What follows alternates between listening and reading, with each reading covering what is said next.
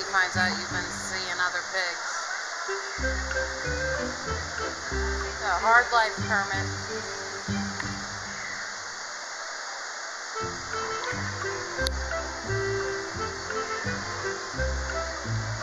Want. crickets in here. Yeah, they're gonna eat them.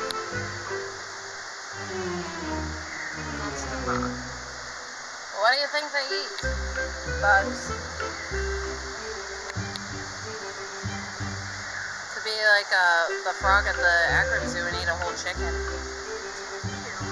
The chicken frog. Okay, now It's a spine tap.